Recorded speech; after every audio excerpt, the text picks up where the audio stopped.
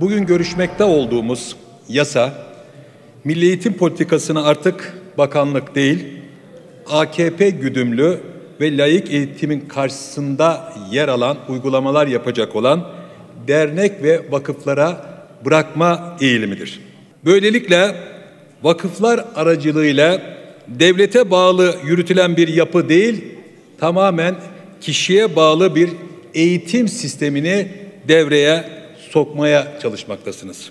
Bu kadar güçlü bir vakıf gelecekte Milli Eğitim Bakanlığı'nı da sollayacak, ekonomik bir güç olacak ve ayrı bir güç olarak faaliyetini bakanlıktan daha fazla bir şekilde sürdürmeye devam edecektir.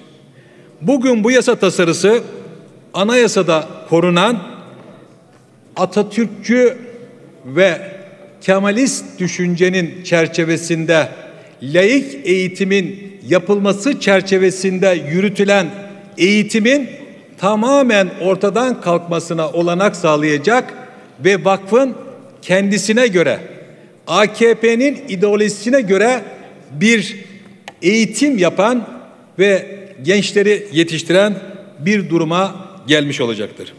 Bu vakfın ayrı bir otorite olması halinde elinde olan imkanlar ile gerçekten farklı bir alana, farklı bir mecraya doğru eğitimi sürükleyeceği de açıklıkla ortaya çıkmaktadır. Bu Marif Vakfı kanun tasarısı eğitimde kaliteyi değil, daha çok kadrolaşmayı, daha çok siyasallaşmayı hazırlayan ve birçok zamanın kaybına ve birçok da imkanların kaybına yol açacağını da söylemek istiyorum.